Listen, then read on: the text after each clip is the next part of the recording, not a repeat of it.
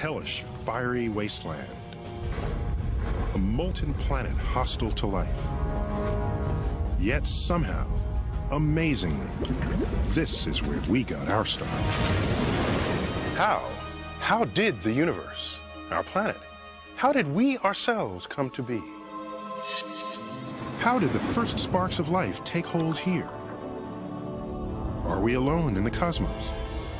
Where did all the stars and galaxies come from? These questions are as ancient as human curiosity itself. And on Origins, a four-part NOVA miniseries, we'll hunt for the answers. This search takes unexpected twists and turns. Imagine meteors delivering Earth's oceans from outer space. Descend into a toxic underworld where bizarre creatures hold clues to how life got its start. And picture the view when the newborn moon, 200,000 miles closer to Earth than today, loomed large in the night sky. This cosmic quest takes us back in time to within moments of the Big Bang itself and retraces the events that created us, this place we call home, and perhaps life elsewhere in the cosmos.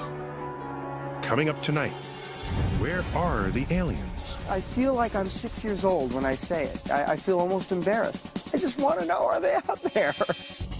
And why do they always look so much like us? When we look at these aliens, and they've got faces with two eyes and a nose and a mouth, they can't be aliens. They must have developed on Earth. They must share that same ancestor, or they wouldn't have faces like that. E.T. may not be like us, but new discoveries are fueling optimism that alien life really is out there. We're finding new planets like crazy. Places where life can exist are far more extensive than we used to imagine. Consider this. Just because a planet can support life, does that mean it will? Are we likely to encounter anything as, well, smart as you or me? Intelligent life, like ourselves, that's just a snap in the full history of the planet. Have the aliens advanced this far? And if so, are any of them willing to communicate with us? Nova is on the hunt for alien life on this episode of Origins, right now.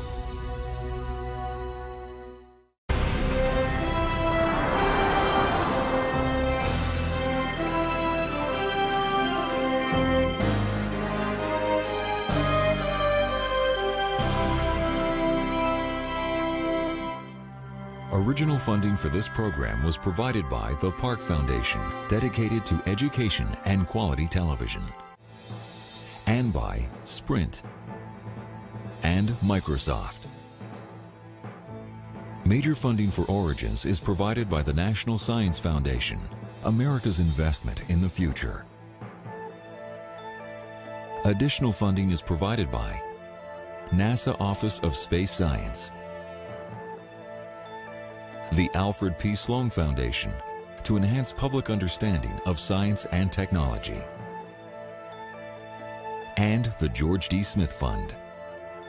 Major funding for NOVA is also provided by the Corporation for Public Broadcasting and by PBS viewers like you.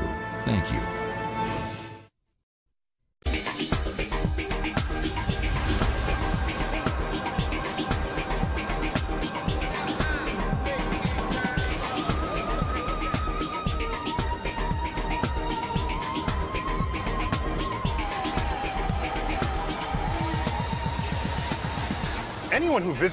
City will see all manner of different life forms.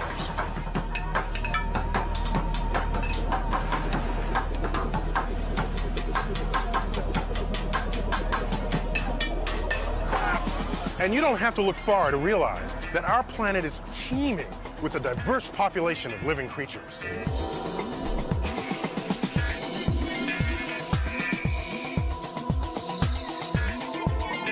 And for centuries, we've been asking ourselves, how unusual is all this?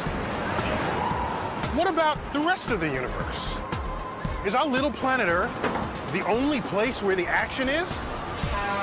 Are we special? I find it hard to believe the fact that we're the only people in this universe. We're definitely not alone. This is not just one universe, you know what I'm saying? There's like 100,000 million galaxy or galaxies in the universe? There's trillions and billions of universe. Whatever. The point is, it's inconceivable how big things are. To think that we're alone here is ridiculous. Many people are ready, even eager to believe that we're not at all alone.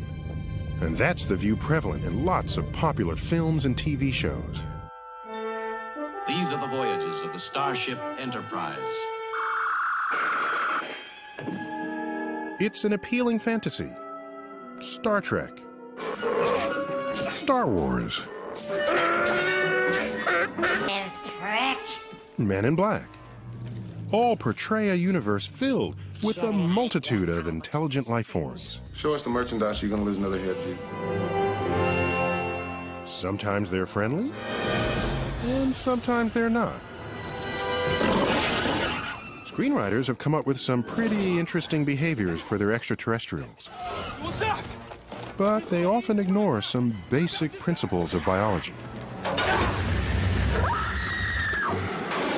For example, in the film Alien, a human being plays host to a parasitic alien until it's ready to be born. Oh, this has long bothered biologist Jack Cohen. Alien is not concerned with the biology. You can't have a creature living in your chest, which is bigger than your heart, and you don't know it's there, and your immune system isn't turned on, particularly if it's never seen a human being before. It doesn't work biologically. But it works as a film because you see the thing coming out of the chest and, you, ah! and it's exactly what they want. It's a horror film. Another classic horror image of extraterrestrials shows them as giant insects, the alien of choice for the film Starship Troopers.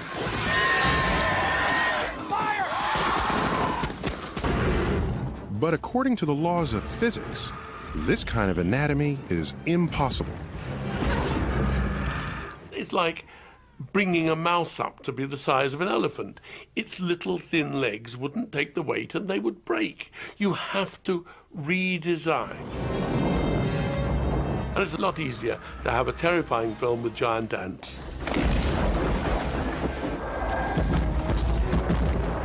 As unscientific as the oversized insects of Starship Troopers are, at least they don't look like people.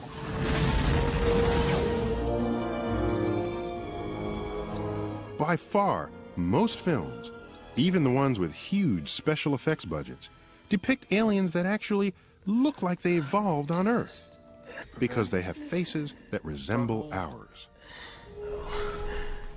Nearly all the vertebrates we see around us, humans included, have faces with two eyes, two nostrils, and a mouth below. This configuration came from a common ancestor who lived hundreds of millions of years ago. Now, when we look at these aliens, and they've got faces with two eyes and a nose and a mouth, they can't be aliens. They must have developed on Earth. They must share that same ancestor, or they wouldn't have faces like that. We expect a living thing, a dog or a cat, or even a fish, to have a face. Therefore, when we invent something for a film, we give it a face. And that really enables the, the people who are watching to get moved by it. Real aliens can't be like that. Cute. Real aliens? What are we talking about? UFO sightings and abductions that show up in tabloids? I think they have traveled to this planet. They might have been here years ago, but they became extinct just like the dinosaur did. We've been visited. Those lights in the sky aren't all weather balloons. Hmm. There are some people who believe that aliens are already among us, but there's no credible evidence. There's nothing in any of these stories that can't be explained in some other more rational way. And of course, some people are just plumb crazy. But is it crazy to believe that somewhere beyond our planet, life has taken root? Many scientists would say it's not only possible, but likely. One of the believers is Frank Drake. I first believed there was life beyond Earth when I was eight years old. Not for any good reason, only because my father told me there were other planets, something like the Earth out there. And to my young mind, that meant places just like where I lived with houses and streets and, in fact, creatures that looked just like me, which was certainly wrong. But I believed. Drake's childhood dreams led him to a career in radio astronomy, and he soon began wondering whether somewhere among the stars there might exist aliens who, like us, had mastered radio. Hello? Ever since humans learned how to broadcast radio waves, we've been leaking them out into the cosmos. Everything from Duke Ellington to I Love Lucy to the speeches of world leaders is, thanks to our ingenuity, now traveling across space at the speed of light.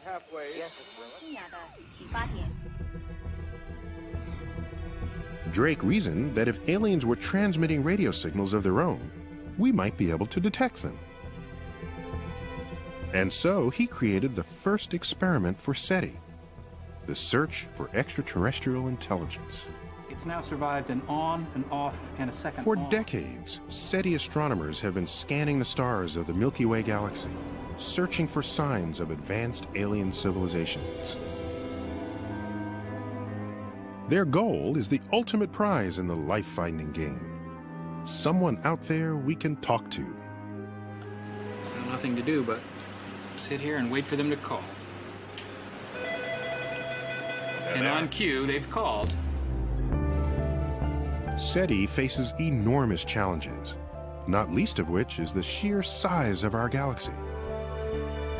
The Milky Way has hundreds of billions of stars, swirling in a giant spiral about 100,000 light years wide.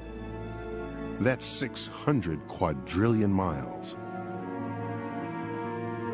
So what are the chances of finding intelligent aliens in all that real estate? Early in his quest, Frank Drake came up with an equation to guide him. Actually, I first invented the equation as the agenda for a meeting. It seemed pretty obvious. This was a meeting about life in space, and I asked the question, what do we need to know about? And I realized if you multiply them all together, you get the number n. The now famous Drake equation lists the different factors we need to know to predict n, the number of intelligent, detectable civilizations in our own Milky Way galaxy. It includes factors like how many stars have planets, and how often will life become intelligent, and how long a technologically advanced civilization might last. And if you put in scientists' judgment the most plausible values for the factors in this equation, n equals 10,000 detectable civilizations in our galaxy. 10,000 intelligent civilizations just in the Milky Way alone. That's Frank Drake's best bet, but it's far from conclusive. If you plug different values into the equation, then it's easy to come up with other results. Anything from a billion civilizations all the way down to one, ours. For a long time, the values for most of these terms were unknown. The Drake equation was something of a list of mysteries, leaving the equation unsolvable. But in the last few years, our knowledge of cosmic origins has been growing exponentially, and we're on our way to solving at least some of these mysteries. Take just one term in the Drake equation, the percentage of stars, other suns, that have planets orbiting them. If alien life is anything like us, it needs some solid ground to call home. And so, we want to know how many planets are out there. Depending on who you talk to, our sun's got eight, maybe nine planets circling around, including Earth. Until recently, we haven't been able to see any planets beyond our own solar system. None at all.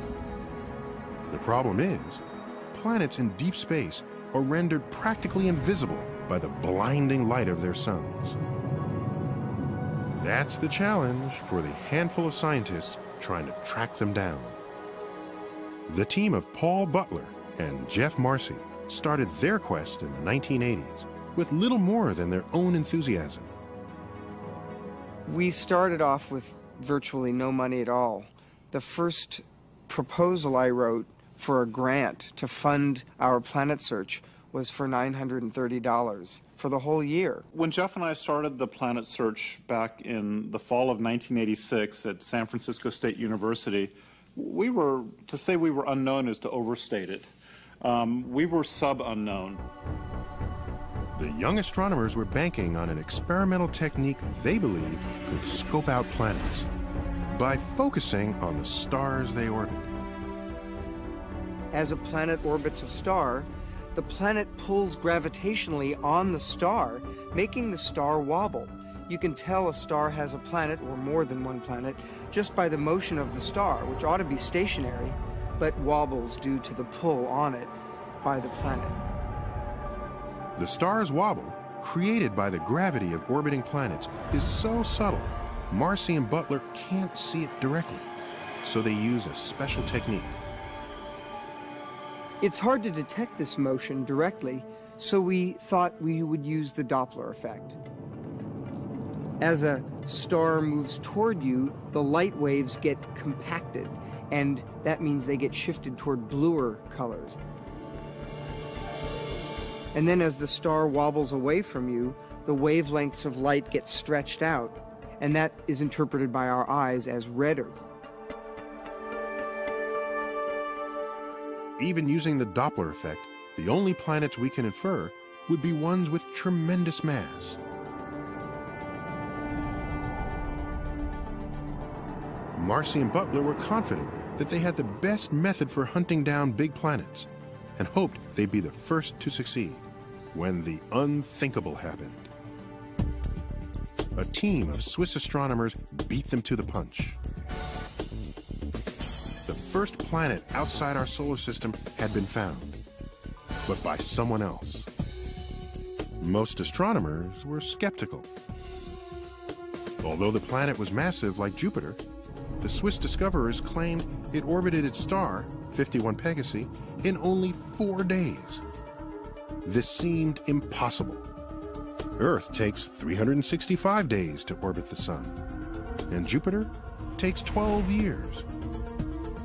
Marcy and Butler felt certain there must be some mistake. Almost every year for the last hundred years, somebody's claimed to have found the first extrasolar planet. And the one thing all those claims had in common was they were wrong. And luckily, Paul Butler and I had telescope time the very next week. And we thought, well, we'll just go up and take data on this star 51 Pegasi and show that it probably doesn't really have a planet at, at all. And when we got back and we analyzed all the data, we were stunned. We were stunned because their claim was right. There really was a Jupiter like planet in a four day orbit. We were stunned because this was the first legitimate real planet ever discovered. And that furthermore, that these planets could be much stranger, much more bizarre than any theories that had ever been conjured before. Marcy and Butler had spent years looking for massive planets, like Jupiter, far out from their stars, with long, slow orbits. Now that they realized that big planets can make a complete orbit in a matter of days, they began to wonder, had they missed something? The evidence for new planets might be buried in their old data. But to find it, they'd need hundreds of hours of computer time. And we only had two little computers. So we ran around madly, trying to borrow and, in some cases, subverting our colleagues and stealing their computers so that we could analyze all of this backlog of data. They worked furiously around the clock for weeks, recrunching eight years of data. I was literally in my office 24 hours a day for about six months, reducing data. Some nights, you know, hardly sleeping at all and just making sure the computers were all running. God forbid the computer should sit idle when we could have been finding planets with it. But the marathon was worth it. Within a month and a half of the discovery of the planet around 51 Peg, we found two planets sitting in our own data right there on our computers. Um, the planet around 47 Ursa Majoris, spectacular, and then the other planet around 70 Virginis. Planets were finally being found, but they were huge gas monsters circling close to their stars, often in highly elliptical orbits. Scorching hot or with unstable climates, they were friendly to neither life nor other Earth-like planets. Any poor Earth that got in the way would be slammed to death. I mean, a little Earth anywhere nearby a Jupiter would get slingshot out of the system, or maybe the Jupiter would hit that Earth and probably spell doom for any life on any terrestrial planets in those systems. And it really begs the question is our solar system, with its nice, neat phonograph groove like orbits, some kind of wacky weirdo in the universe, or are there others like ours? In addition to its neat round orbits, our solar system provides particular shelter for Earth, thanks to the presence and position of Jupiter. Jupiter's enormous gravity throws asteroids and comets off course, slingshotting them out of the solar system. Without this protection, these cosmic missiles would frequently smash into Earth and destroy life as we know it. So if Marcy and Butler want to find Earth-like planets, first they need to find Jupiters more like our own. The holy grail for us is to find a sun-like star that has a Jupiter as far from it as our own Jupiter is from the sun. That Jupiter would protect any Earths that were in there. And of course, the real super holy grail is to find a system that has not only such a Jupiter, but also the Earth itself. After almost 20 years of searching, things are looking up. Okay, 101, 472, 11 hours 40. Coming up. We're finding new planets like crazy, all the time. Um, every week or two, we find another new one on average. Looky at that one. That's a beauty. Let's see how that corrects up. Yeah, that's a planet. We have about 700 stars on our program. And I'd say the, the thing that's really most amazing to us is how many of them appear like they have planetary signals embedded in them. All right, let's go to the next star. Roger. Do you have Jason's new target list? I'm moving it right now. The team is tracking several stars that appear to have Jupiters right where they want them. Far out from their host stars, and in perfect position to shield life-friendly planets like Earth. We are always following some exciting Jupiters. Uh, we don't tell anybody about them, but at any given time we have a half a dozen Jupiters that look like our own Jupiter. If their hunches are confirmed, then not only are there other solar systems that look like ours, there may be lots of them. 90% of the stars show no close-in Jupiters. Those are stars that could easily have an Earth in an Earth-like orbit. I think of the 700 stars we're following, I would bet at least half of them have rocky, Earth-sized planets going around them. Just a decade ago, astronomers could not be sure if there were any planets beyond our solar system. Today, we have a much better picture of our galaxy. And Jeff Marcy estimates that of the several hundred billion stars in the Milky Way, about 5% have small rocky planets that might harbor life. If he's right, that could mean 10 billion Earth-like planets.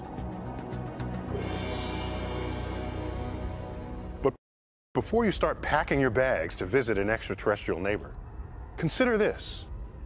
Just because a planet can support life, does that mean it will? It's a crucial factor of the Drake equation, the percentage of planets where life does arise. On a planet where no life exists, like our own early Earth, how does life suddenly come into being? Is the spark of life rare or common? 25 years ago, most people, when they thought about the origin of life, thought in terms of inherently improbable reactions that would actually occur because of the fullness of time. Andy Knoll is a paleontologist who studies fossils for clues to how early life evolved on Earth. Before about 600 million years ago, all life on Earth was tiny. Single-celled creatures so small that Knoll and his colleagues do most of their work with microscopes or in chemistry labs. The big surprise is that no matter where they look for signs of ancient life, they find it. Our planet is about four and a half billion years old. We have evidence from the oldest rocks that we know of, at least the oldest sedimentary rocks we know of, that by about 3.8 billion years ago, life had already gained a foothold on our planet. Scientists haven't figured out exactly how that first spark of life happened. But since it seems to have sparked early on, then maybe it isn't so hard. Most people think that whether or not we understand what the chemistry that leads to life is, that it's a chemistry that, under the right conditions, will pretty much go and, and is a fairly probable chemistry, and that therefore life doesn't take billions of years to unfold on a planet. It might unfold in thousands of years or a million years. A lot of people think if you can't do it in a million years, you probably can't do it at all. So what is required to get it all started? Here on Earth, the chemistry of life relies heavily on the element carbon. Carbon is one of the most versatile elements. Each carbon atom can hook up with one, two, or three, or four other atoms. It can even link up with other carbon atoms, creating long chains or rings. Throw in a few other elements and you've got amino acids, the ingredients of proteins, the building blocks of life as we know it. Carbon is a very useful element to sit at the center of life's chemistry. There's a lot of it in the universe. It's made very easily in stars. It makes very complicated, meshed together compounds which have the possibility of changing each other's properties. You can have a really complicated, complex setup with carbon. I'd expect that very nearly all life forms we come across that are matter based are going to be carbon based. If carbon helps make life happen, then there might be a lot of life out there. Carbon is one of the most common elements in the universe.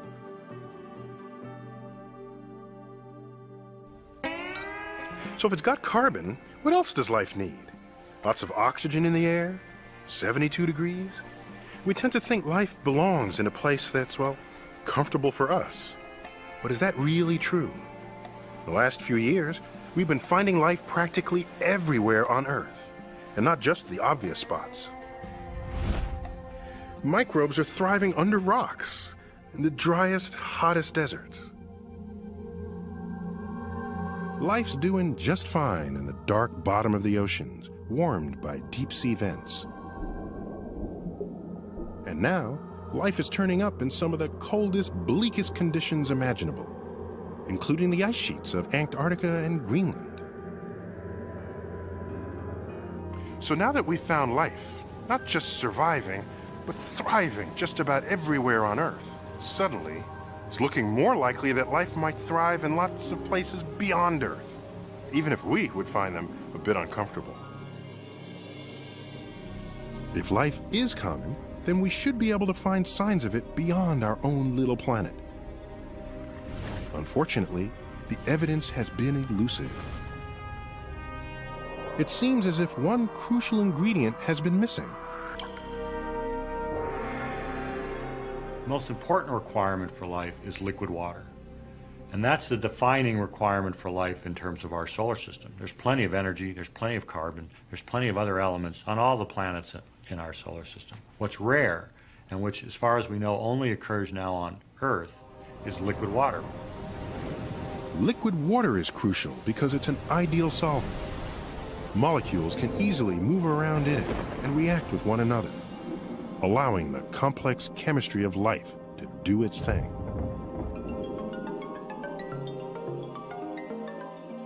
For years, it seemed that Earth, with its oceans of liquid water, was an oddball and perhaps the only place in the solar system where life had ever thrived.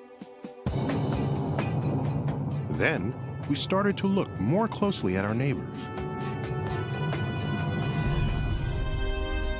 In recent years, NASA spacecraft have sent back images of Mars with stunning detail.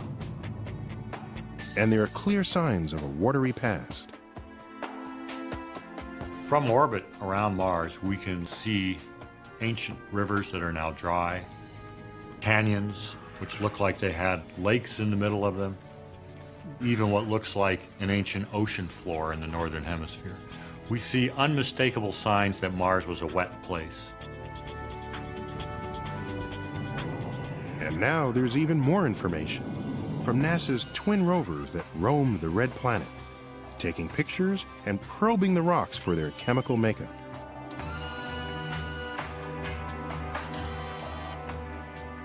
The photos reveal clear sedimentary layers in the Martian rocks. And chemical analysis shows they must have been laid down in the presence of water. Mars might be too cold and dry to harbor life today. But if water was once there, then perhaps life was too. And now there's hope that life may thrive even farther out in the solar system. I think Mars is the number one candidate for the search for life beyond the Earth, especially if we're going to find it soon. But we do have a backup plan. And in this case, the backup plan is Europa, one of the moons of Jupiter. A little smaller than our moon, Europa is covered with ice. But there are cracks in its surface, perhaps signs of ice sheets floating on a deep ocean of liquid water. What might be melting the ice is internal friction created by the gravity of Jupiter and its other moons. Europa's ocean is suddenly considered a potential home for life. The places where life can live and exist are far more extensive than we used to imagine. We used to think a life-bearing planet had to be just like the Earth. And a little closer to the sun, it would be too hot. A little farther away, it would be too cold. And now we realize, oh gosh, there's a place which has an ocean with three times as much water as the ocean of Earth. And the water's warm. And that's way out in the solar system where we used to think the temperatures were ridiculously low. There could never be life there. So the likelihood of life existing on planets and space has just gone up enormously. So even though we've yet to find life elsewhere in the solar system, or beyond, we're getting more optimistic that life may be widespread. But if life is common in the galaxy, what kind of life would it be? Is it merely the kind of life we had here for about 3 billion years? Microorganisms happily brewing away, with nothing bigger or more interesting than bacteria? Or is it the complex plant and animal life we find in our oceans? Of all shapes and sizes. Or could it be what SETI is banking on? Intelligent life that builds cities, computers, and radio transmitters. We now know that the way we got to this, from something like this, was through evolution. Does that mean evolution would work the same way wherever life appears? Frank Drake thinks so. Once you have life, evolution goes to work. Life is very opportunistic. It expands, it finds ways to survive, it finds ways to cope with changing environments. And in the process, it becomes more intelligent. And in the long run, you end up with something like us, exploiting technology to live in even more inhospitable habitats. Drake's optimism shows up in the estimates he's plugged into his own equation. His guess is that wherever life arises, it will evolve into intelligent life 10% of the time. Not quite inevitable, but a fairly common outcome. It's hard to know how likely or common intelligence is when it's shown up so recently in Earth's history. So the short history goes like this life early But the familiar life that we think of, plants and animals, that is really a relatively recent development on this planet. And intelligent life, people like ourselves, technologically competent humans, that's just a snap in the full history of the planet. After about 3 billion years with only microscopic life, Earth finally became home to true plants and animals.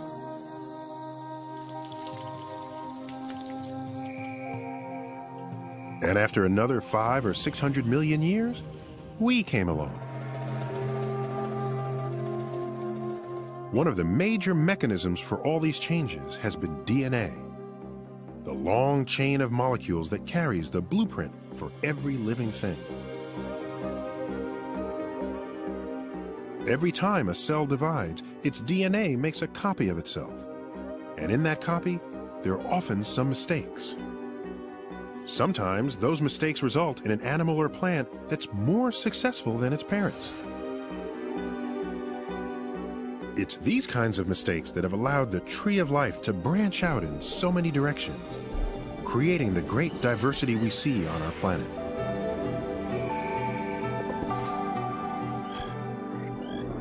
So, if there's life on other planets, does it have to have DNA? Would aliens have DNA?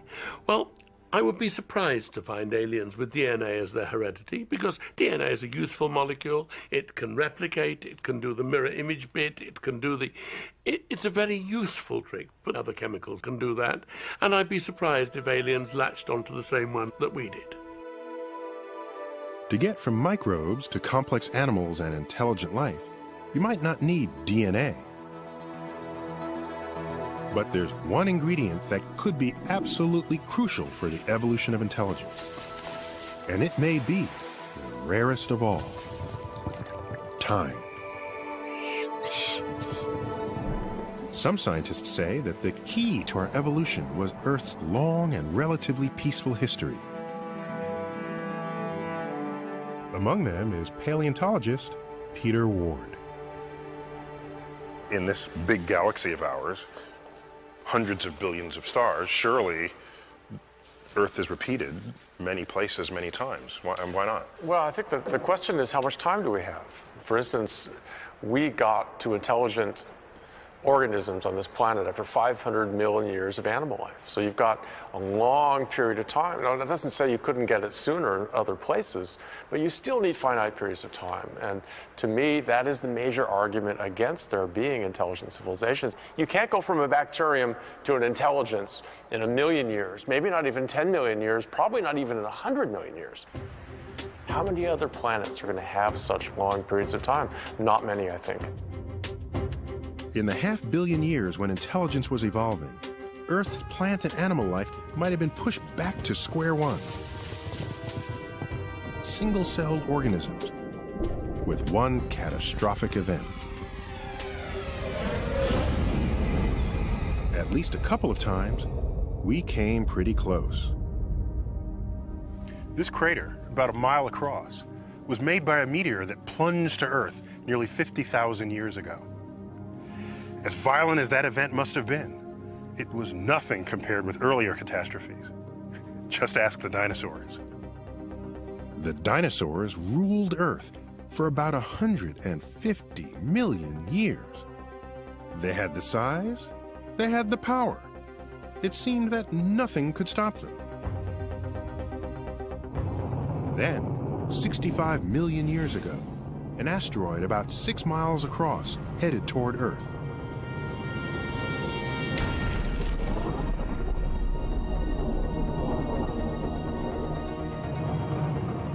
In the aftermath of a collision of epic proportions and widespread volcanic eruptions, as many as two thirds of all living species were wiped out. The big guys didn't stand a chance.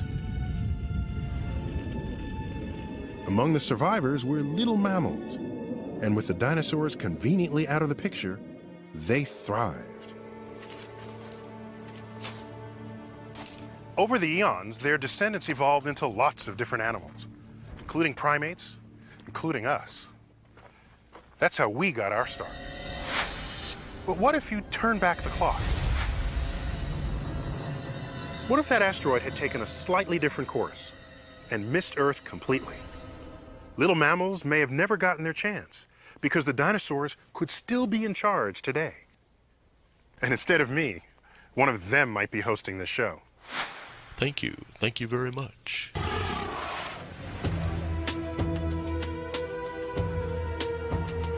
In some ways, we owe our existence to serendipity. And some argue that this makes the evolution of intelligence far less likely.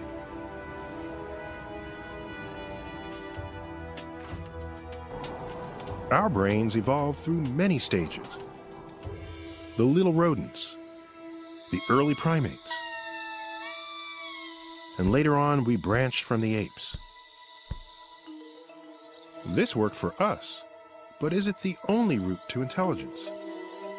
Would an alien species have to go through the same steps? There's no way to know for sure, but on our planet, lots of animals have remarkable brains and behavior, including some that are very distant from us on the evolutionary tree. Among them are the cephalopods, including octopus, squid, and cuttlefish. Cephalopods are mollusks. They're related to clams and oysters, but they don't look much like them at all.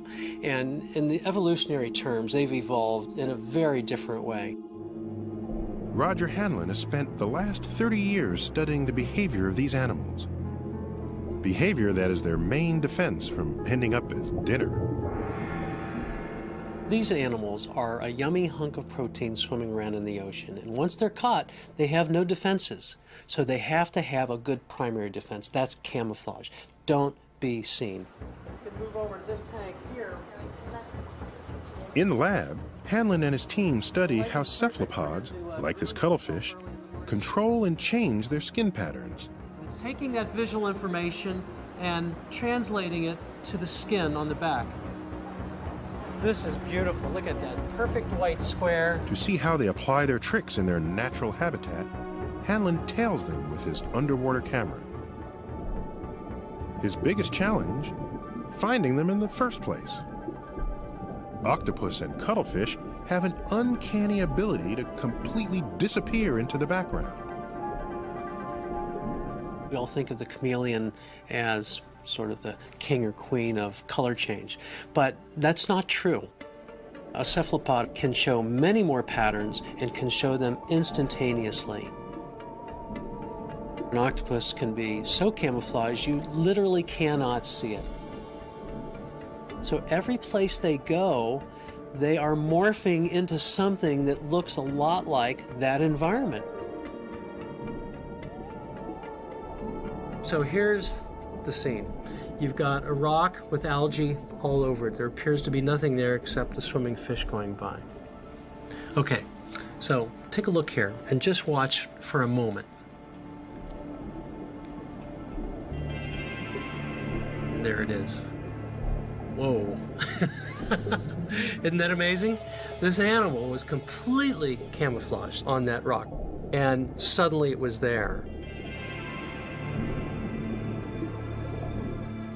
This remarkable camouflage, changing both pattern and three-dimensional texture, is performed by skin unlike any other animal's.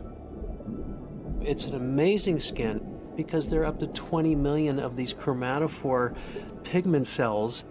And to control 20 million of anything is going to take a lot of processing power. We call it a computer. Animals have brains. These animals have extraordinarily large, complicated brains to make all this work. For Hanlon, the brains and sophisticated behavior of these animals suggest that there's more than just one way to get smart. Very inquisitive animal. That's quite extraordinary. Even an invertebrate animal related to a clam or a snail can develop an incredibly complicated brain. This is one of the true wonders of nature. It's hard to explain why, but it's everywhere. What does this mean about the universe and other intelligent life? The building blocks are potentially there and complexity will arise. Evolution is the force that's pushing that. I would expect personally a lot of diversity and a lot of complicated structures. It may not look like us, but my personal view is that there is intelligent life out there. But intelligent life is not necessarily life we can talk to across the depths of space. For that, you need technology. As smart as an octopus or dolphin is, neither one of them is going to build a radio transmitter or a spaceship. When paleontologist Peter Ward looks at Earth's track record, the odds for technological aliens don't seem very promising. There's maybe 30 million species on the planet today. And if we look at the fossils, there are hundreds of millions of species in the past. But only one of them which has risen to technology. It's happened one time out of hundreds of millions of possibilities on planet Earth. One time, one time only. So that's an astronomically small number.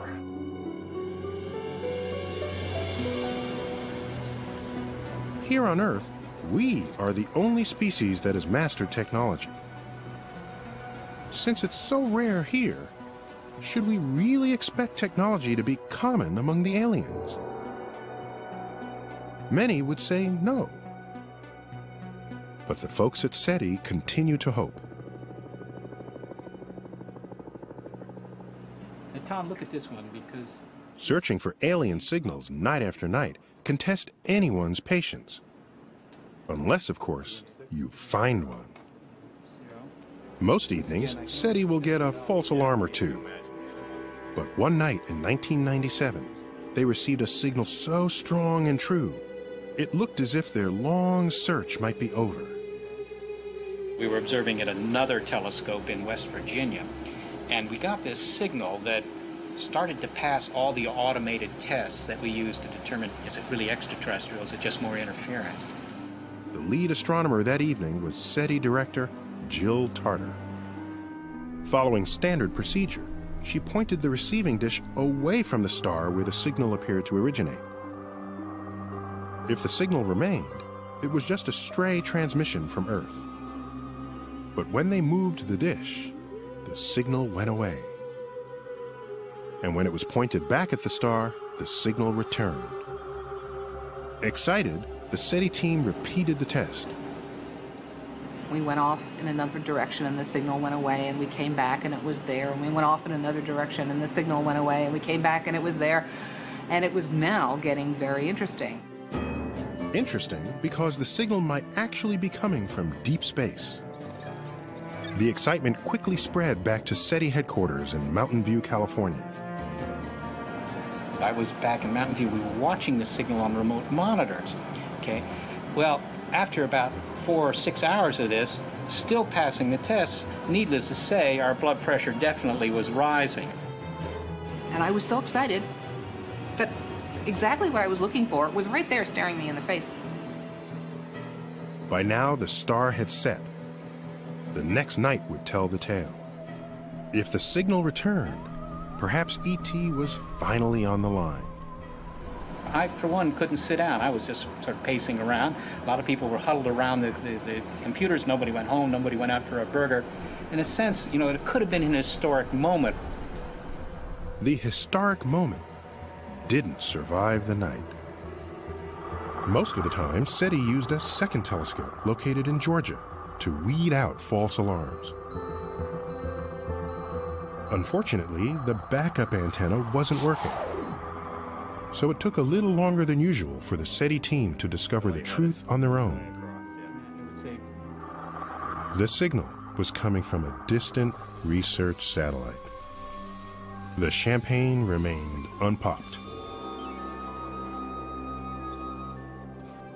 Despite the disappointment, SETI has never lost faith. Its scientists remain convinced that our universe is capable of producing intelligent life on many different worlds. I truly believe there are signals out there. I also recognize full well that our instruments, as powerful as they are, are hardly beginning the search. the number of stars we've looked at, the number of radio frequencies, is minuscule compared to the total inventory of combinations of stars and frequencies there are to search. So we have hardly started. We should not have succeeded. Only through a great fluke of good luck would we have succeeded by now. Humans have been leaking radio waves into space for most of the past century. Compared to the history of our Milky Way galaxy, about 10 billion years, that's a tiny blip. And we've been actively listening for radio signals from distant civilizations for only about 40 years. If the aliens are on the other side of the galaxy, any signal they send could take tens of thousands of years to reach Earth. It's as if the aliens were throwing a dart and trying to hit one tiny spot on this enormous landscape of time and space. Let's face it, the odds of our capturing that signal aren't very good. And yet, who can blame us for trying? For me, it's the most interesting question. Are we alone? What's our place in this universe? How do we fit in? Are we just run of the mill? Are we totally exceptional? Or are we somewhere in between? Exploring our own world and the universe beyond has been full of surprises. Just a few hundred years ago, we assumed that everything about us and our surroundings was special and unique. Now we know there are lots of stars out there, many like our sun. We're discovering other solar systems with planets. And the chemicals of life, forged in stars, are abundant in the universe. If those common chemicals have caught the spark of life somewhere else, who knows how that life will evolve, what path it will follow, and whether we'll ever meet. I feel like I'm six years old when I say it. I, I feel almost embarrassed. I just want to know are they out there? And all of my science training and math and, and skills as a researcher kind of go out the door. I, I just feel that this is a question that is going to be so profound for us as a species, but also individually. Each one of us will have to look within ourselves and figure out what it means to us. Are we alone? Are we rare? Are we common? We still do not know. But perhaps someday we will. And the answer, whatever it is, will reshape our sense of ourselves and our place in the universe.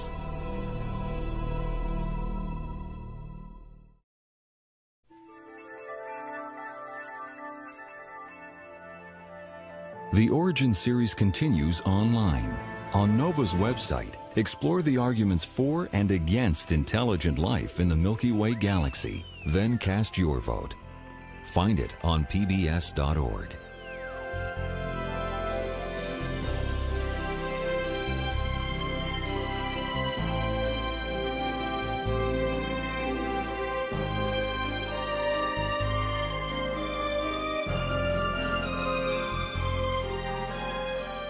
To order this program on VHS or DVD, or the book Origins 14 Billion Years of Cosmic Evolution, please call 1 800 255 9424.